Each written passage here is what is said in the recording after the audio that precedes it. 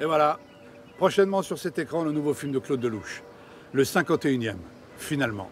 Oui, c'est le titre du film, finalement. C'est un beau titre, hein Finalement. Alors, comme comme il y a plein de surprises, il y en a tellement des surprises dans le film qu'on a décidé de rien vous montrer. Enfin, à part moi, bien sûr.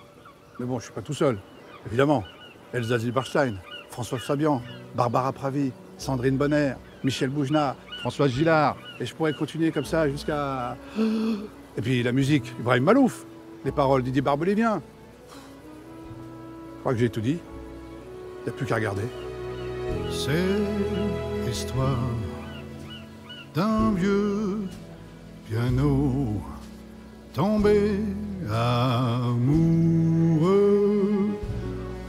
d'une trompette.